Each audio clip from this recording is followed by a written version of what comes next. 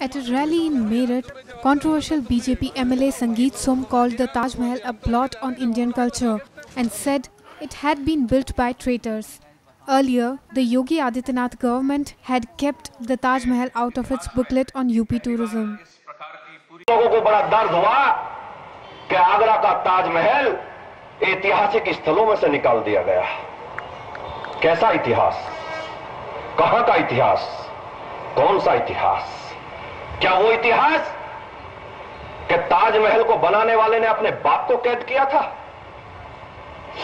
क्या वो इतिहास?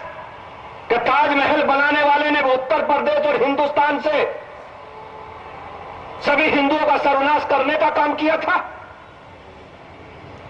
ऐसे लोगों का अगर आज भी इतिहास में नाम होगा तो ये दुर्भाग्य की बात है और मैं गारंटी के साथ आपसे कहता हूँ कि इतिहास बदला जाएगा। Som is notorious for inflammatory speeches and is among the politicians charged with instigating riots that left over 60 dead and tens of thousands displaced in Muzaffarnagar in 2013.